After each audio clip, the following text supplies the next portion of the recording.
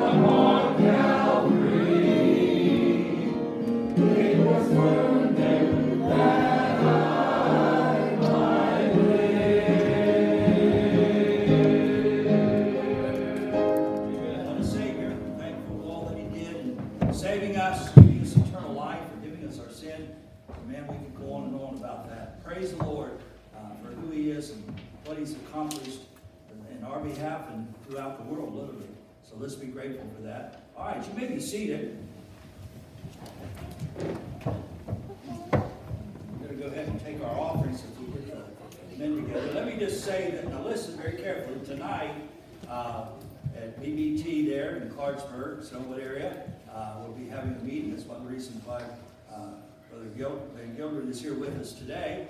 He's going to speak here just a little bit. We have, we've done this, I think, eight straight years where we've had a, a, a preparatory meeting for revival. And in 2025, that seems like a long way away. Two years from now, uh, we're planning a meeting now that's going to engulf all the churches that, that are wanting to be a part of it uh, in the month of uh, November, I believe it is.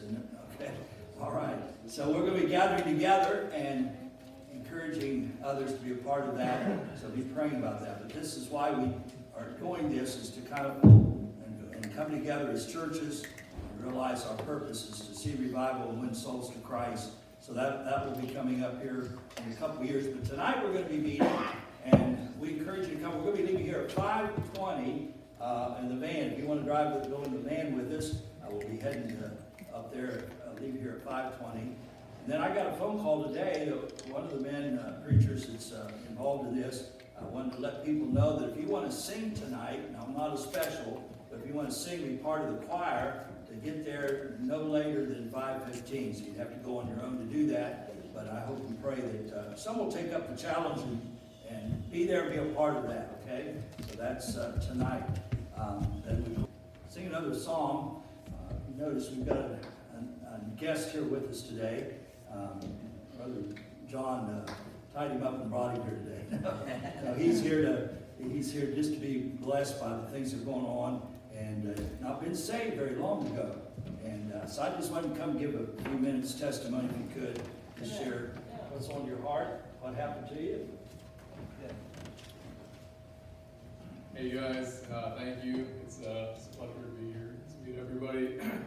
so my name is uh, Shriram, and I, I got saved. Uh, I came to the Lord a little over a year ago, a year and a quarter, uh, last summer, and it was just a long journey since I was as a kid. I was always seeking what is the truth, what is that, um, what is that that's going to give me that um, that freedom and that that joy and that love that I always wanted. I always knew that there was something uh, far greater in life, and that there was I was destined to like really experience that. Uh, we were all built for that. We were built to experience this profound joy, this profound love, and essentially what I found out last year when my aunt, who's a secret Christian in India with her friend, she witnessed to me, and she helped explain to me that that that is Jesus, like that that that joy is Christ, and and how the, the spirit that was leading me on my journey of seeking God and finding the truth was manifested in Jesus. And what I began to learn is that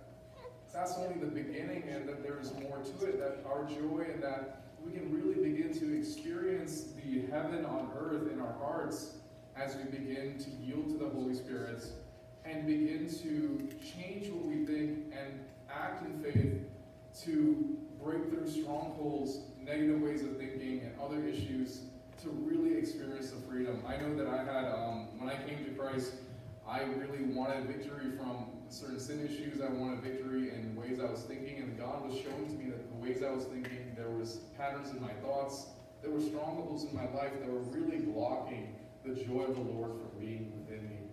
And what I began to realize is the only way to get free from that is not just expecting the Lord in salvation, is but is to walk in the Spirit, is to yield to Him. And when I found out that what yielding is essentially is when the Lord convicts us and shows us uh, something in, in our hearts that's a hindrance, or He's leading us in a way, it's taking a step of faith and grabbing His hand and walking with Him. And when the Lord was showing me strong, I want you to change your way of thinking here. I want you to believe differently about this issue in your life. I want you to, um, I want you to start taking these different actions. It was, um, it was a very, it was, it was a struggle for me to like take those steps of faith. But as I took those steps of faith to follow God wherever He was leading me, I began to experience more and more of His joy because every time I followed Him in a certain area of my life, um, and a stronghold was removed, his joy, his love, and his fruit would just bubble out of me. And that's what I've been really after for the past four months, especially, is trying to yield more and more. And I can say now that I'm truly like waking up every day, and I feel like I got led into heaven early. I really do. And it's just from that process of being able to just uh, take those steps of faith, and even though it's like really, really difficult sometimes because those strongholds can be strong, and the devil's saying, "Don't follow," let me just take a step of following. That's what God's really showing me now, and that's what I'm also here. Is I'm trying to learn about the revival spirit, and to learn more about how can we help everybody get into that zone, that mode of just following the Holy Spirit, because it's He's trying to, when He's talking to us, He's trying to help us really um, experience that joy, that fruit, and it's possible. And I think we all know deep down in our hearts, like that is possible. And I don't want any of us to be satisfied or um, uh, settle for anything less than that glory that He has waiting for us. And it's there. And I want, I just want to share the testimony that, like, it was. I'm 23 now. It's like 22 years of suffering and like just grueling search to know, like, is there that joy there? And it's there. And I can finally say with all confidence that it's there and it's so much more deeper than I could ever imagine.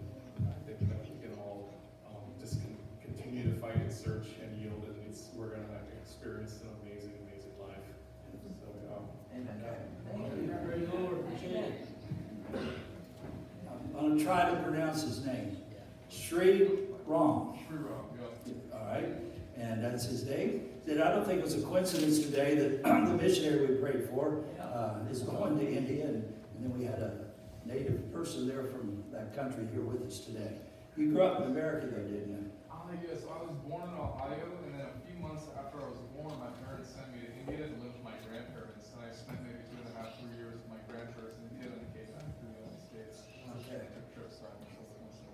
Amen. Okay. All right. Praise the Lord. All right. Darcy's going to lead us in another song here. Let's sing out. this is our opportunity. Well, let's all stand again, turn to page 241. Grace that is greater than our sin.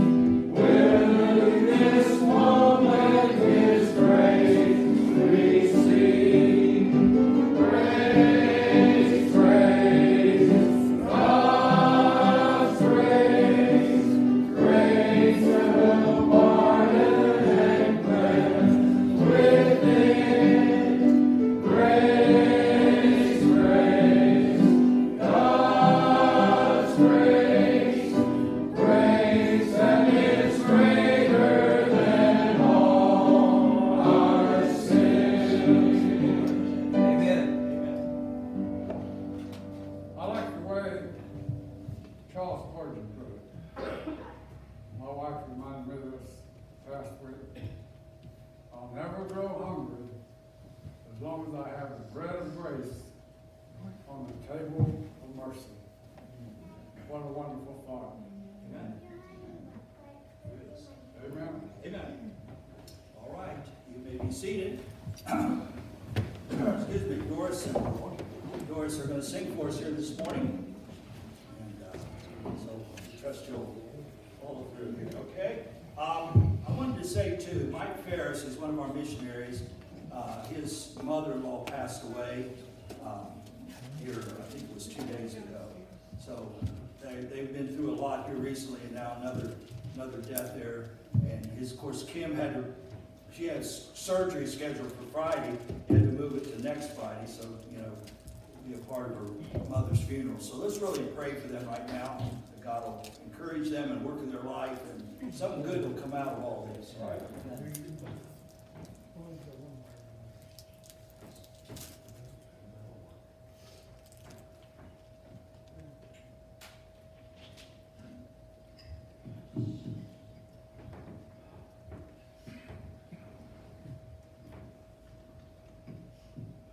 Just a few, few months ago, my wife, she goes through the house singing these songs. She was singing this song and it's such a blessing to me. And I hope it'll be a blessing to you because my wife, she, to me, she's got a beautiful voice. And, uh, she doesn't seem to think so, but I, I do. I just, I love to hear her sing. And she's, she's a wonderful blessing to me. One more valley song by Dottie Rambo and uh, Jimmie Davis. When I'm tossed on life's sea and the waves cover me and the dark clouds won't let the sun shine through, then a voice seems to say, Child, there'll be a brighter day. Don't allow the storms to hide sweet heaven's view. Cause you've got one more valley, one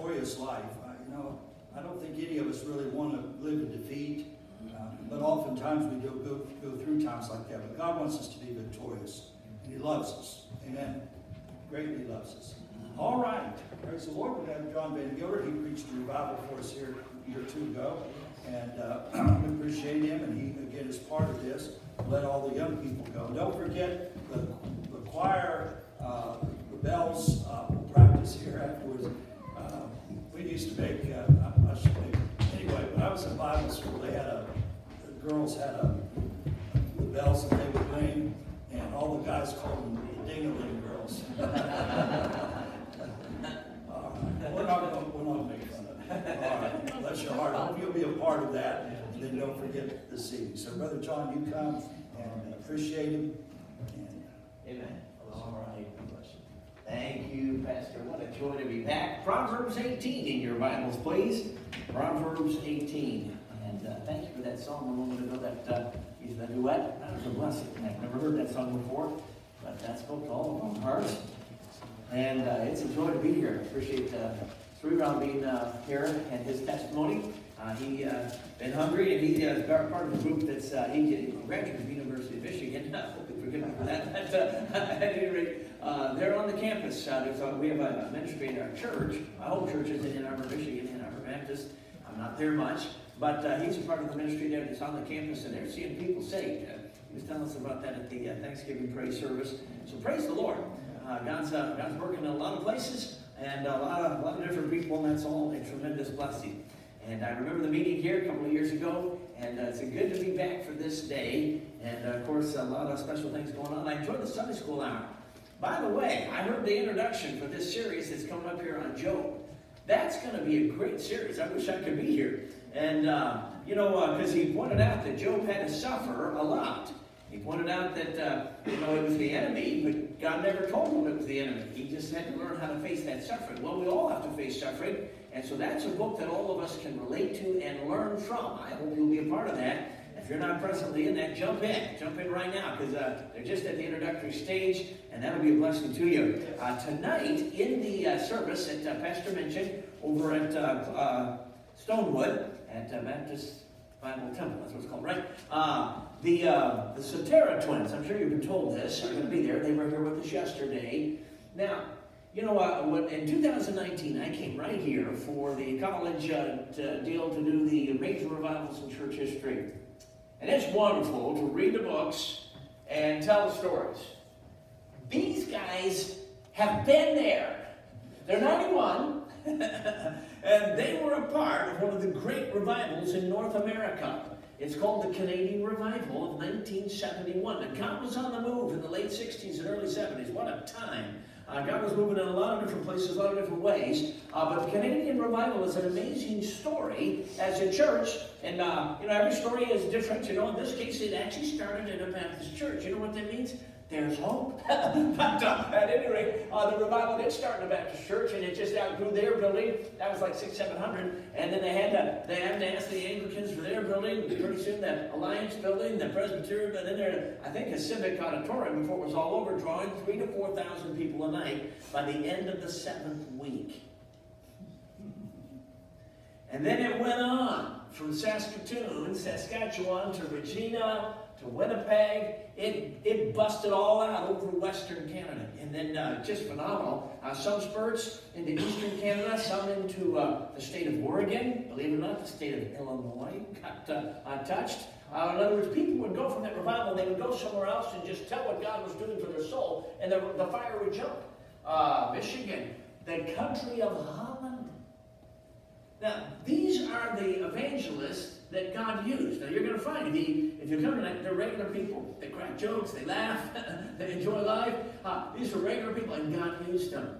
And this is first-hand account. So tonight they're going to tell the story. And uh, I'll be asking them questions, but they're going to be the ones talking, and they're going to tell us the story of the Canadian revival of 1971. That uh, it's it's phenomenal. Uh, when I began to study revival history, especially in the late 80s, early 90s, uh, it was about uh, probably 20 some years ago, I read the books on the Canadian revival. And about 10 years ago, I was in a meeting down in Atlanta and somebody said, hey, Ralph Sutera lives in this area. Would you like to meet him? I said, like to meet him? Absolutely. And so I've known Brother Ralph for the last 10 years or so. I got to meet Brother Lou uh, the, for the first time yesterday. Both of these men have the joy of the Lord. Bless the Lord. Yes. That's the Holy Spirit. You'll be blessed tonight. I hope you'll not miss. Well, Proverbs 18 in the Word of God this morning. I want to look at a proverb, obviously, that paints a picture. And may the Lord take this truth and may the Holy Spirit speak it to our hearts. Thank you, Brother Freeman, for the privilege of being here. Appreciate your pastor so much. All right, Proverbs 18, verse 10. The name of the Lord is a strong tower. The righteous runneth into it and is safe. I want to speak this morning on our strong tower. Uh, let's pray. Let's ask the Spirit of God to be our teacher. Blessed Holy Spirit, we need you right now to open the eyes of our understanding to the truth connected to these picturesque words. And Lord, would you so illumine the truth that you convince us of the truth, that we would actually apply the action step of faith in this very verse. Lord, even today. Oh, Lord, meet with us, breathe on us, and uh, touch us, Lord. Lord, you know the needs of every heart, every person here, every family. And uh, Lord, this church, Lord, may we know that you're speaking to us, and may we run to you. So, Lord, I plead the blood to protect us from the attack of the enemy uh, who would seek to hinder in any way. So, Lord Jesus, we claim our position in you on the throne, far above the enemy. And in your name, we exercise your authority over any powers of darkness that would seek to hinder at this time and trust you that that simply not be allowed. So, Lord, speak to us. Lord, would you meet with us? May we meet with you. We thank you now in Jesus' name. Amen. Amen. A number of years ago, I was in the country of Ireland. I go there often. I have a dear friend named David O'Gorman. And uh, he uh, sometimes will go and we'll take a trip out and see the countryside. And a lot of neat uh, stuff to see over there, the Emerald Isle as they call, uh, call it. And he took me to a town called, called Glendalough. Uh, the term loch over there is lake for us. And so this is a beautiful town uh, situated on the end of a long lake. Glenda, Glenda Lake, Glendalough, and there's some mountains that uh, are surrounded, and it's all green. And uh, we've walked up on top of those mountains to look down on the uh, the lake and so on. Well, the town is really neat because there's a present-day town, but in the center there are ancient ruins from a previous time period. Now over there they got castles and stuff like that. Well, in this town there's not a castle, but there's a tower that literally towers above everything else in the whole valley. And when you look up places to see in Ireland, you'll see pictures of this. Well, we were looking at the ancient ruins, and then now we're right at the bottom of this, this tower. And my friend, Dave, said, now, John, notice, notice where the door is. It was not at ground level. It was well out of reach, way up there. And there's no staircase. And the way it worked is in former time periods when an enemy came, uh, they would sound an alarm, and everybody that, that was in that area would run to the tower. And they had a rope type ladder, I'm told, uh, that uh, they would uh, throw out, and people would climb up, and the last one in would pull up the rope, shut the door, and apparently it worked because the tower still stands. And that is the exact picture that we have here in this Hebrew text, this proverb. The name of the Lord is a strong tower. The righteous runneth into it and is safe. That picture of a central fortress which in times of danger the surrounding population can run to and find refuge. Now notice, it's not just a tower, it's a strong tower. It's a worthy place of refuge. And It is a place where you can go and actually find the safety that you are seeking. And notice it says, the name of the Lord is. This is more than a promise. Praise the Lord for the promises. Those are the will be's and the shall be's. This is an is. This is not a potentiality. This is a reality right now. You know why that's important? Because when you need this kind of safety, you can't wait a long time to get to it. You need it right now. And it says, the name of the Lord is. Is. Is. Right now. This strong tower. Ah, yes. And uh, the righteous run into it. Now, somebody might say, well, you know, I knew there was a catch in there somewhere. the righteous, oh, you know, I'm not very righteous and oh, things aren't going too well, man. If you know how defeated I was this week, you'd be embarrassed to shake my hand. Now, look, it says the righteous. Talking about a group of individuals who, at some point in their life, have understood sin is the problem. Judgment is the consequence. But Jesus is the answer.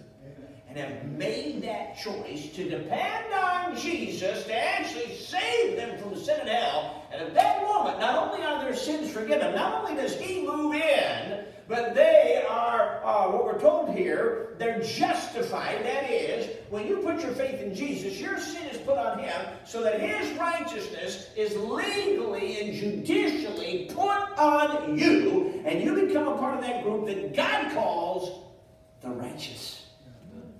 Not your own righteousness, the righteousness of Jesus credited into your account. Now, friend, even if this last week was a bad week for you, if you're saved, you're in that group.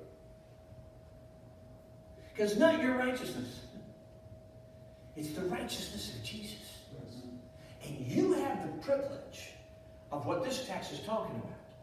Now, friend, if you're not in that group, you need to get at it. You need to, you need to, you need to put your faith in Jesus and be saved. But if you are saved, you're in the group here that says, the righteous runneth into it. This is your privilege. This is amazing. The righteous runneth into it. That's the tower. But the tower is the name of the Lord. And so you're running into the name. Tying right into New Testament terminology. In his name. It's a beautiful picture of dependence in him. And so you have this great promise and is safe. And we're safe and set on high, safe above the trouble. So we have a very beautiful and really simple text. The object of faith is given in the first phrase. The name of the Lord is a strong tower. The exercise of faith is given in the second phrase. The righteous runneth into it. And the promise of faith is found in the third phrase. And is safe. So there's an obvious lesson, is there not? Run. Run to the tower. Run to the tower of the name of the Lord. Now, the key to faith is the object of faith. When I was here last time, Sunday morning, I preached a message called The Key of Faith. I'm sure you remember that with all the details. But, in case you forgot, the key to faith is not us. We're the subject of faith. The key to faith is God, the object of faith. Now, friends, it's a wonderful thing to realize that the key to faith is not us. It's Him. So stop looking at you. Stop looking at the problem and start looking at Jesus. He's the solution. See, He's the answer. He's the object. He's the tower. He is the, the safety that we need. And so, let's focus on the name. Because it's the name of the Lord that is the strong tower. And the righteous run up into it and say, let's focus on that name. Because the name represents the person and all the attributes of that person. Now, the name of God and all of his attributes is a vast subject. a, a, vast, uh, too vast for time, probably too vast for eternity. So this morning, we're not even going to scratch the surface. We're, you know, I'm not even sure we're going to scratch the scratch. but uh, let's take the time that we have and focus on this name. Now, you'll notice in your Bible that the name Lord is in all capitals. You may have noticed that. And that means it's seeking to represent a particular Hebrew name that's underneath that. And the English is seeking to represent that particular Hebrew name by using the capital letters here. If you've ever heard the term Jehovah, that's the name. In more recent years, theologians are pronouncing it Yahweh. That's dealing with the Hebrew language. You're not to mess with that. But the bottom line is, this is a particular name. Now, it's interesting that this name, of course, is used by itself. It's also used in conjunction with other words, other Hebrew words, and they form what uh, theologians call the Jehovah titles. Like if you've ever heard the title Jehovah Jireh, right? That's what we're talking about. Now, in the Old Testament, there are 10 Jehovah titles. So if we took those 10 titles plus the name Lord by itself, we would have an 11 point message. And no one said amen. you know, that's just not going to work, you know. uh, we're going to have to pare this down somehow. Well, it's interesting that in our English Bible here, uh, in King James, these Jehovah titles, three of them, excuse me, no, seven of them, let me get this straight, seven of them are translated. One is very familiar to you.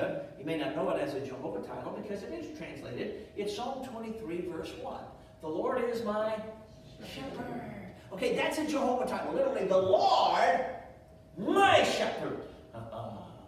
Personalize it. The Lord is my shepherd. You know, if we took those seven that are translated like that, plus the name Lord by itself, we'd have an eight-point message. And no one said amen. So, Brother Freeman, this is just not going to work. You know, there's something about the Sunday morning service. You got to finish on time. You know, beat the Methodists and the Presbyterians to the restaurants, whatever. Uh, but uh, we're going to have to pare this down somehow a little bit more here. So, what if we take the last three that are not translated? They're transliterated. That simply means they take a, a Hebrew letter and they bring it into the English and create a word like Jehovah Jireh. Let's take those three plus the name Lord by itself, and we have a four-point message. And amen or not, we're stopping right there. Okay. now, let's begin with the name Lord by itself. This is the beautiful picture of the strong tower of life. Life. I love this. Do you know that the name Lord, Jehovah, Yahweh, that this name occurs in our Old Testament 5,000 321 times. Now, if you know anything about the number of the occurrences of particular words in our Bible, this is astounding. Do you know, apparently, God wants us to know Him by His name. It's an amazing name. This is the name that God Himself used when Moses turned aside out there in the wilderness thinking, you know, that life was all falling apart and things didn't work out in Egypt like he had hoped. And now he's out here in the wilderness and he sees this bush and it's burning and it's not burning up. It's not consumed. And so he says, what's going on here? And God speaks to him. And uh, God commissions him to go back to Egypt and lead the people of God out of Egypt. And Moses wasn't too excited about this job. And so he's asking all sorts of questions. He's trying to get out of it and so on. Well, one of the questions he asked was, well, who am I going to tell him sent me? And at that point, God translates the name. I am that I am. That's the translation of the, of the name, Lord. And he says, you tell him that I am has sent me unto you. The I am, the eternal God, the eternal, the God who dwells in the eternal present tense. You see, since he's I am, that means he was and he will be, but it's because he is. Wow. Tozer put it this way God is at the beginning of time as we know it, and at the end of time as we know it, at the same time. If you think too hard about that, you might see a little vapor coming out of a few heads, but uh, uh, uh, we might short circuit. But the, that's amazing. This is our God. This is this is the self-existent one, the God who dwells in the eternal present tense. It indicates His faithful presence. That's why the text can say that the name of the Lord is. See, his faithful, immediate presence. In Genesis 21, verse 33, this name Lord is explained as the everlasting God.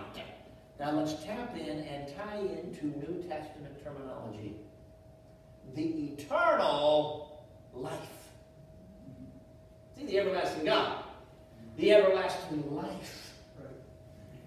You know, Jesus said in John chapter 10, uh, I am come that they might have life, and that they might have it, the life, more abundantly.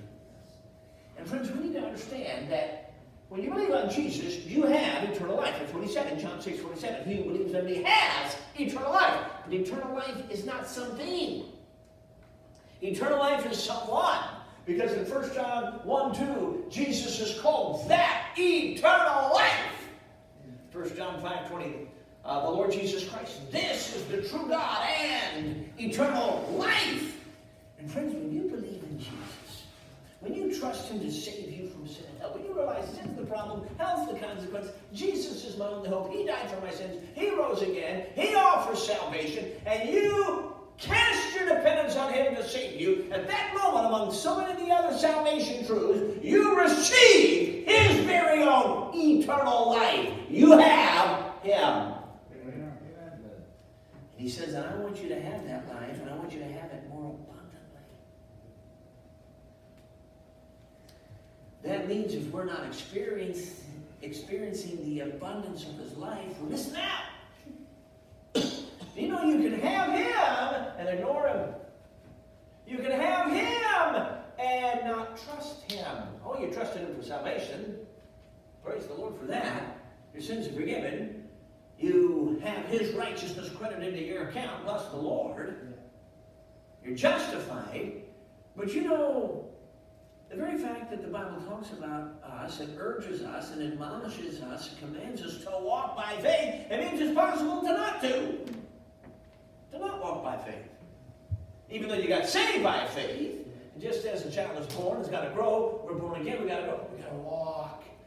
Wants us to walk. He wants us to grow in grace. And you do that when you walk by faith. And when you do, you begin to tap into the abundance.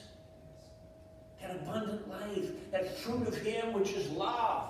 And that's joy and peace and long suffering, gentleness and goodness and faith and meekness and temperance, all at the same time. Because He is that all at the same time. When you access Him, you access all. And friends, there's an abundancy there. And we have to ask ourselves, you know, if, if, if things are pretty uh, opposite of abundant, what's in the way? That's where we need to get honest about whatever's in the way. That's what the, uh, the twin evangelists taught us on yesterday, that the hindrances to revival. That's where we need to get honest and let the blood of Jesus come in like a tsunami and clean us up, 1 John 1 9. So that we can have all the hindrances taken away and experience Jesus. See, the spiritual life is when the Spirit fills you with the life of Jesus. His life is abundant. There it is. But if that's lacking, then it's time for revival. You know what the word revival means? Life! There it is. It's life again. Restoration to, to life again. Restoration to the life of God, the life of Jesus in you. Eternal life as the abundant life. That's revival. When that life is now accessed and you're restored back to life. Him! So that it's you, yet not you, but Christ in you, animating you. And thus, you're experiencing Him in genuine revival. Years ago, we were holding a Netcasters Evangelistic Training Seminar. Uh, net seminars, we called it. Uh, done Netcasters here, haven't you? In the, in the? Okay, sense Oh, excellent. Well, we were all to do these week-long modules and so on. And, uh, of course, on the Spirit for Life, as you know, applying to witnessing. And uh, uh, when we did the module thing, uh, we would announce a time in a church and blah, blah, blah, and get it all arranged, and people would come in from the area, sometimes from other parts of the country, sometimes from other countries, uh, once in a while. But at any rate, we were holding net seminar in Chicago. And the host church was a large church, and uh, so a number of their staff were taking uh, the course that week. We had people coming from a lot of different states. We did have a missionary from Spain that was part of it that uh, particular time. And uh, at the beginning of the, the week, you know, we'd start on Monday morning, goes to Friday night. Those were grueling, grueling modules, I gotta say. but uh, uh, at any rate, um, we would always ask everybody, why are you here? They would give us their answer. Well, I don't know. Never a soul to Christ, or I just feel ill-equipped, or, you know, whatever. They give us their various things. Well, one guy who's the youth pastor at this church, it was a large church, youth was about 150 if I remember correctly. He'd been there five years, winsome guy, sharp, handsome, you know, witty, all, you know, this, you know, magnetic, you know, personality, youth pastor, uh, the caricature that you would dream of. Well, that's what he was. He stands up. And he says, I am here because I do not understand what it means to be filled with the Spirit. He said, I don't know what that means. And he said, I have to know. And he wasn't joking. He said, I cannot come to the end of this week and not know what it means to be filled with the Spirit. I'm going to tell you, I wanted to shout. Because when there's that kind of hunger, God's going to fill. The Bible says so. He satisfies the longing soul and fills the hungry soul with goodness. By Wednesday, the man was in revival. He was in radical, personal revival. On Wednesday night, we had the midweek service there at the church. We broke from the seminar. I spoke in the church. Uh, the teens normally in there, the way they did it, they had a, a, breakout group, and normally he had his fancy stuff that he would do and his uh, handouts and stuff. He tossed all of that. And he went to that youth meeting and began to declare to those teenagers what God was doing for his soul. Friends, when God meets with you, declare it. You'll, you'll be amazed at what God does in others when you are when you're honest about what God's doing in you. And so uh, uh, he gets up and he says to his young people, he says, you know, I've been here for five years as youth, you're a youth pastor. He said, I owe you an apology. He says, I have not shown you what God can do. Everything I've done, I've done in just the strength of what man can do. Man can be funny, man can have activities, man can do all this. And he said, I owe you an apology. You've not seen God. He was broken. You know, teenagers know when you're honest or when you're faking it. They knew he was honest. Do you know when he got honest? Without any human leadership, teenagers started getting honest. They started confessing their sins. In fact, some knew that they were not right with mom and dad. They left the youth meeting, no human leadership, drawn by the Holy Spirit across this large campus, big church, and found, you know, went into the auditorium. I'm up there preaching, found their parents somewhere in the audience, walked down the aisle, tapped them on the shoulder, said, I talk to you now? And got right with mom and dad. I mean, revival busting. I mean, a corporate revival broke out is what happened. In fact, one of the mothers told me later that uh, her daughter told her, she said, you know, when all of that started happening, we could not stay on our seats. It just didn't seem right. We had to get down. Why? Because they're in the presence of God, that's why. And so a revival broke out in that youth group because a revival in one man's life. Why? Because he was running to the tower. I don't know what it means to be filled with the Spirit. Here I'm saying, I'm going through all these motions, but I need life. Well, he was already saved. He needed life again. It's revival.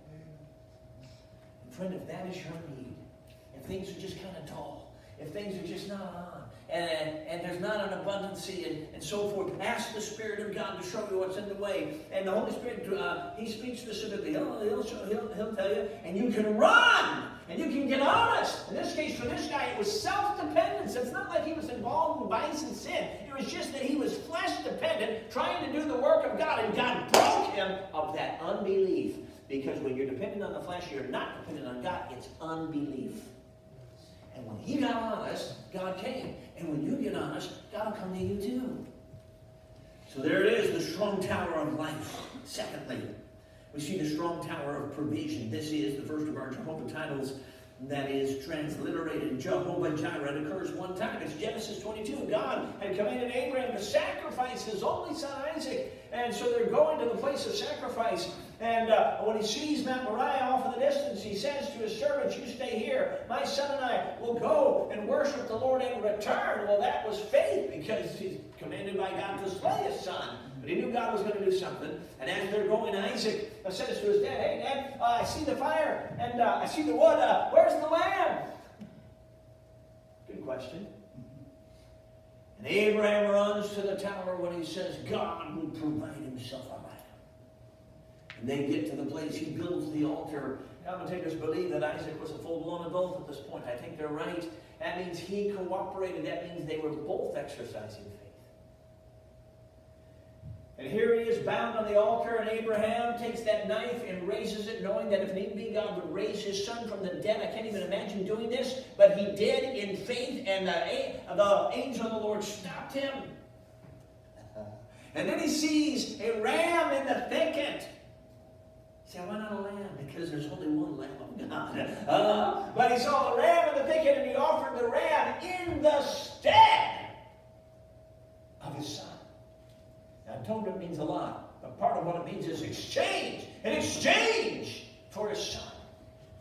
In gratitude, Abraham calls the name of that place Jehovah Jireh, the Lord will provide. God, my provider. Wow. What's your need today? Provision. What it's, you know what's neat? The Lord will provide. It doesn't say just, you know, clothes or food or money or whatever. There's a lot that can go under this. Let the Holy Spirit apply.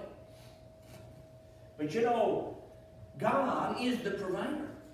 And yes, He provides in all sorts of ways, including practical ways. I was just reading the other day another article on what's happening in the country of Uzbekistan. Uh, if you wonder where that is, Uh, there's India, who we talked about, then there's uh, Pakistan, there's Afghanistan, and then there's a few other stands before you get to Russia. Okay, it's up there somewhere in that stand part of the world. Uh, there's a country called Uzbekistan, and the persecution there is pretty intense. And uh, Voice of the Martyrs uh, brings uh, that country out every so often. Well, I remember some maybe 15 years ago or so, and they brought an article out about a guy, and then a couple years later about the same guy. It's interesting, this guy's been thrown in jail several different times for doing what I do, for preaching the Word of God. And uh, uh, he was thrown into prison this one time, and he thought it was going to be it. Uh, persecution had kicked up. He thought they would kill him. Uh, but uh, uh, he was there, and his wife, you know, his, his children were small. They lived out in the country, you know, and, and so to survive, as far as food, they would have to own little garden and, and so on. So his wife and kids were just living off of whatever they had had. the church had disbanded because they were afraid to meet. I don't blame them. I don't understand. We've not been in their shoes. And so here he is in prison six months. To his shock, he gets released. He comes back to the church, but nobody would come. They were afraid. Interesting. They're humans just like us. And uh, that man in that empty building where they would meet praised God for two days. That's faith. But the fact is, they were running out of food. His wife had survived from whatever he had from the garden, but he hadn't been there to till it and replant. And the kids were small, and so now they didn't have anything. Uh, nobody would come and give them anything. Uh, nobody would give them a job. The church people were afraid to be seen around, so they were now destitute. You know, we, you know, we say we're starving when we haven't eaten for three and a half hours. they were starving, literally. The seven-year-old daughter said to the dad, "Dad, I'm so hungry. Daddy, what are we food? Can you imagine this, dads? Can you imagine your own child asking that and you don't have any physical way to provide? He said to his daughter, he said, honey, we're going to have breakfast in the morning. He got up early to pray. She got up early because she remembered the promise. Daddy, I'm so hungry. When are we going to have some food, Daddy? You can imagine the heartbreak. The man looked to the Lord, ran to the tower of Jehovah Jireh, prayed, called on God. He said to his daughter, We're going to have breakfast in just a bit. Let's go out in the garden and work while we wait. They went out the garden. Uh, to their shop coming down the country road. Hardly anybody came down their country road. They were far out in the country, and here comes this uh, car, and they pulled up their driveway. They didn't recognize the car. Two men got out. They didn't recognize the men. The man looked at this pastor and called him by name. Said, we were supposed to be somewhere else today, but the Lord sent us here to you to give you this. And in an envelope, he opened it. He and his daughter standing right there. Inside was the equivalent of one month's wages. They were so stunned, so overwhelmed, because now they could only get the food and so on, uh, that the car was pulling out of the driveway back down the road, and they hadn't even said thank you because they were just so overwhelmed. So uh, the dad and the daughter ran down their driveway and turned the corner down the country road to wave the car down so they could stop and, and say thank you. But when they turned and looked, there was no car to be seen. There was no fading engine sound. There was no cloud of dust and no fresh tracks. Because the Bible tells us in Hebrews that God, when he chooses to, uses his angels as ministering spirits. And the little girl looked up at her dad and said, Dad, from now on, your God will be my God. Friends, it is time that we so run to God, that God is so seen and so real in our lives, that people are impacted.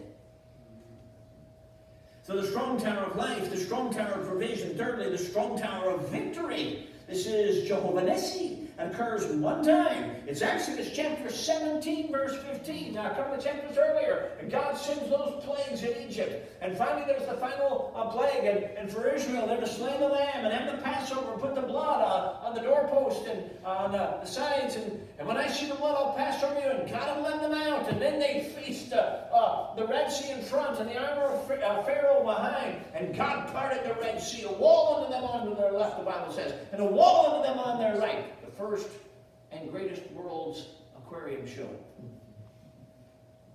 And they walked through those walls of water on dry ground. And now they're out in the wilderness, and they get attacked.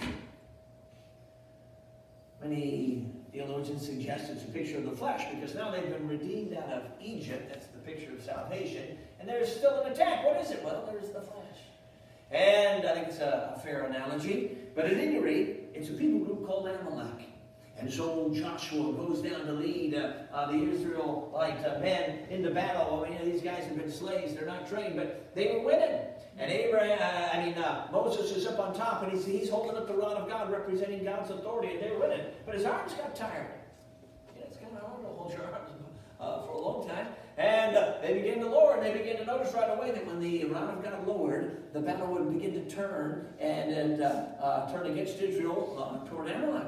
And Aaron and Hur said, enough of this. And they uh, sat Moses down on the rock. They got on either side, held his arms up so the rod of God, uh, uh, representing God's authority, was held high. And God gave Israel victory. In gratitude, Moses built an altar, and he called it Jehovah. Let's see, what does it mean? The Lord is my banner. Now, that doesn't really translate for us. It's the idea of a flag still flying in battle. In fact, it's international anthem. Well, say does that star-spangled banner yet wave for the land of the free and the home of the brave, indicating, you know, right there in the Revolutionary War, uh, uh, the writers uh, painting the imagery if that flag was still flying, it meant victory. That's this name. Victory. Now, friends, when we're defeated, it doesn't have to stay that way. It doesn't have to be that way. Why? Because Jehovah Nissi. You see, the victorious life is not a set of rituals, it's a person. The victorious life is not a formula, it's a person. His name is Jesus. He is the victorious life himself. And when you got saved, he moved in to live his life, not yours. When you live yours, you miss out on his and down you go. But friends, when you say no to self and say yes to Jesus, his life is imparted to you and you experience his victorious life. Him. See, the person. Ah, maybe you're here today and there's some area in your life that's got you down. Maybe it's a bad temper. Anybody here have trouble with temper? You know, when I was a kid, I've got two brothers and two sisters, so five siblings. And growing up, Dad would say, I'm number four and 11 of five, Would say, you know, John has the worst temper. That would make me so mad.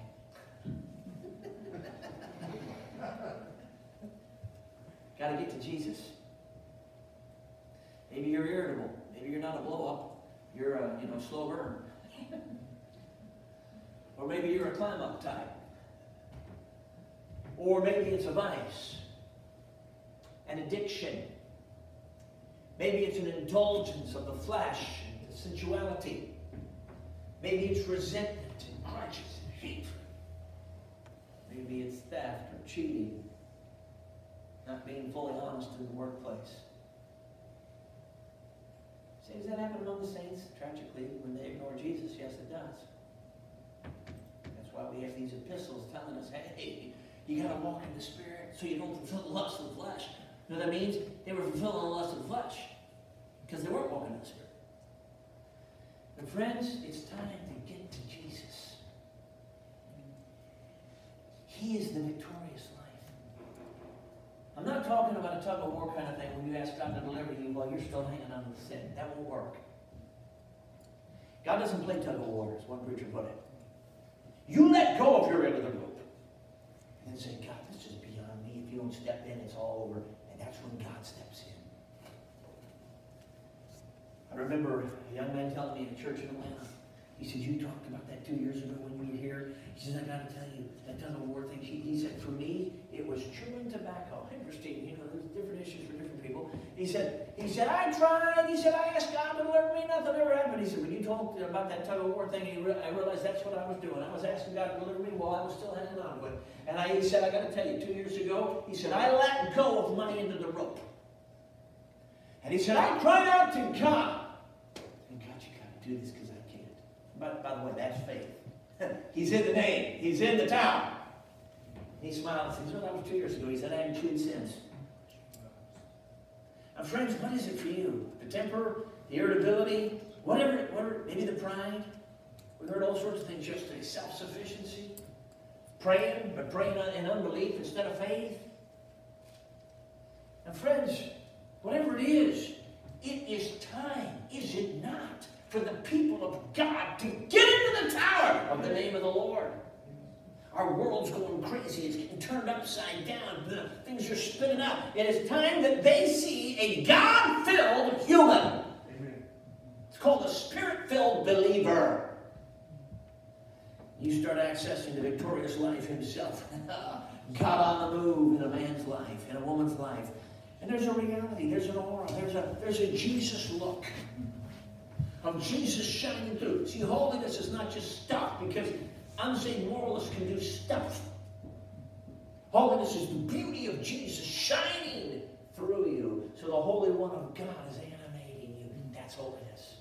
And when He's animating you, there's love. And God is love. That's the fruit. And the eight slices are joy and peace all the way to temperance.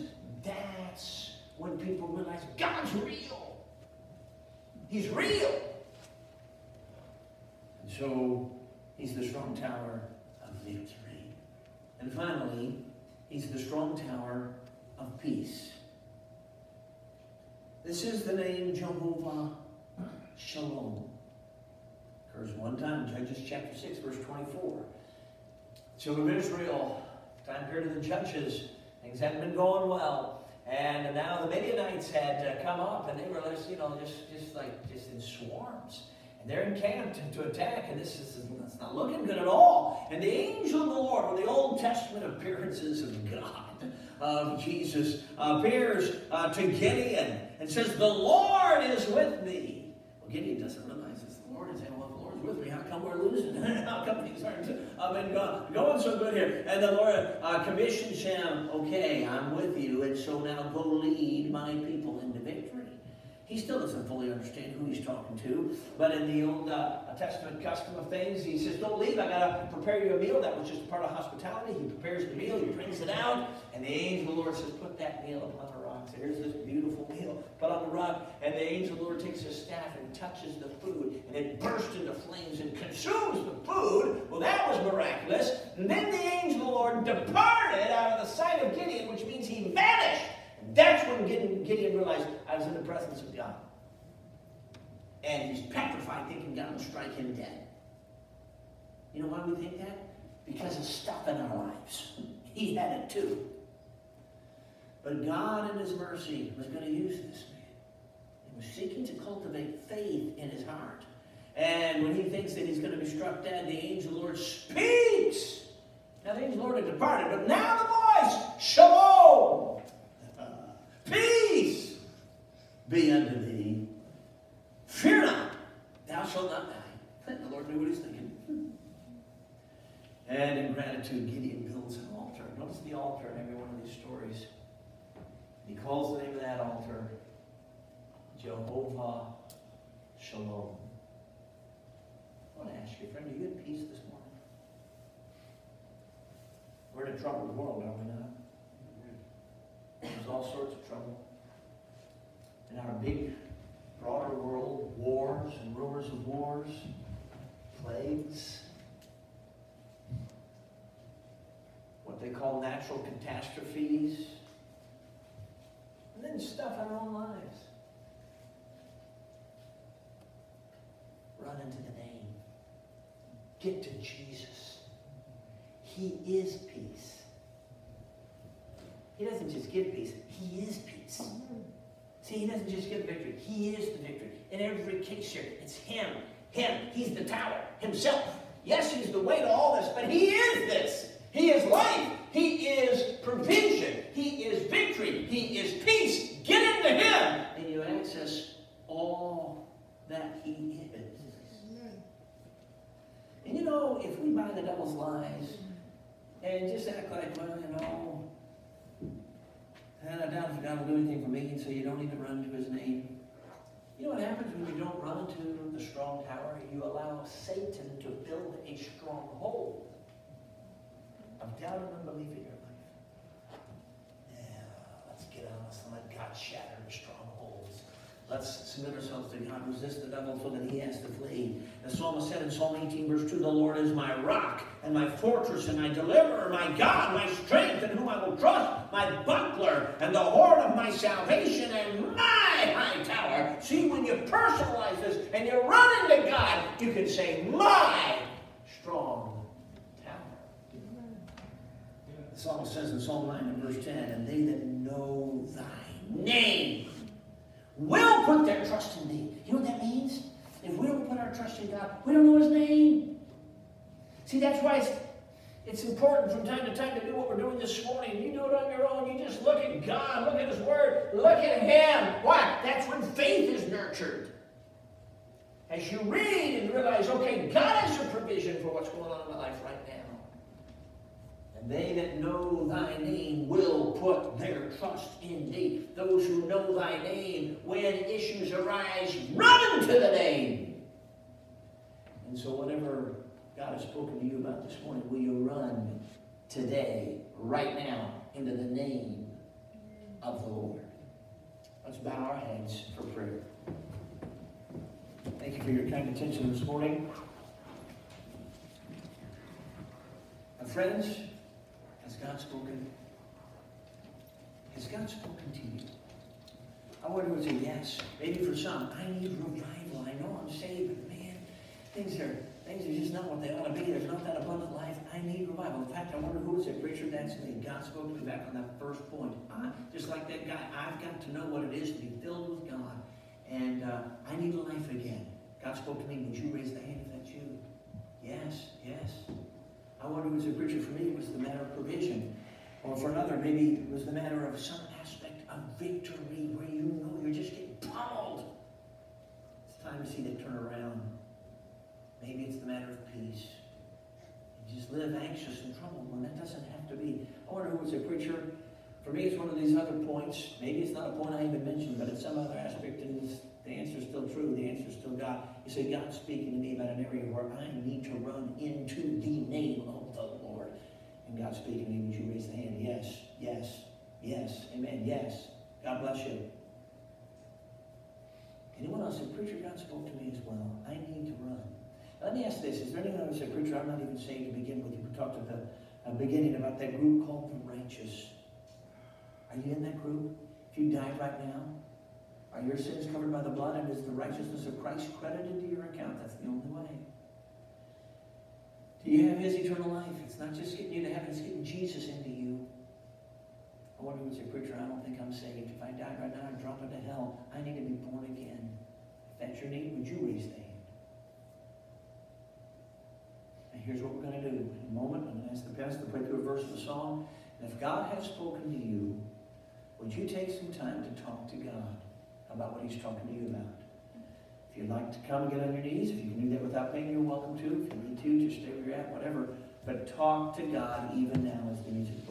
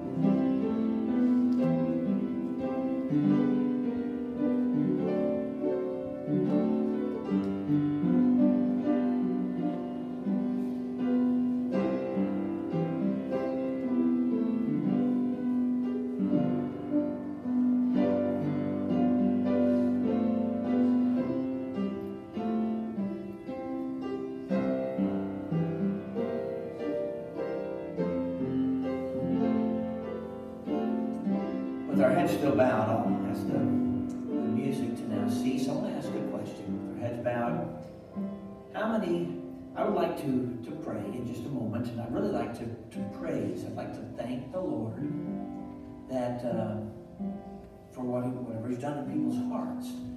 And if you would say, you know, God did do something in my heart. I met with the Lord in a specific way this morning, and I'd like to be included in that prayer of praise. If that's true, would you just lift your hand up be aware of that as I pray? Yes. I see five, at least five hands. Amen. Maybe more. Now, Lord, I thank you for these that have indicated they've met with you. You spoke, you called, they responded, they got honest, and Lord, the best they knew, they ran into you. They ran into your name. And Lord, regardless of feelings, we thank you that you are real. You are life. You are provision. You are victory. You are peace. And so much more. So, Lord, we thank you. We praise you for speaking to us such that we run into your name and find you as all sufficient.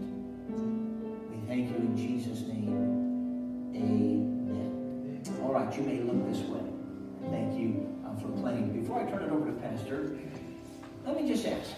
Close where God spoke to you today. I'm talking about like today, not like uh, glad for anything previous today, but if God spoke to you today, maybe yesterday if you were here part of the, uh, the morning yesterday, but uh, is there anybody that would like to just say, you know, God spoke to me about this, or just to declare what God is doing for your soul? Just as that young man in the one uh, account, uh, he declared, you know, God spoke to me about my flesh dependence and so on. If, if uh, you feel you ought to say something, this is an opportunity for you to do that. Anyone at all? Sure. I really enjoyed the, uh, the tug of war analogy, that really connected some things for me. Um, it's just like, the Lord can show me, when you just put into words, like, you, you- we can't expect deliverance from, like, like whatever, whatever issue it is. Right. Without letting go. Yeah. of the Decision that goes on. Yeah. It's a huge deal because it's so easy to, to just hang on saying God delivered me while we're hanging out, which means, which means it's not faith. Good, good. Someone else?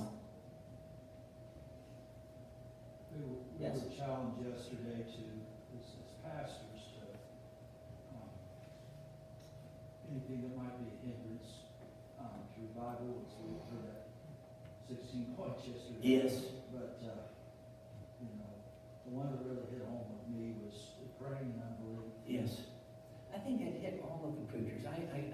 That immediately hit me. Because I know there are times when I bring things to the Lord faithfully, but am I bringing them in vain? That's that was convicting. Amen. Amen. Someone else.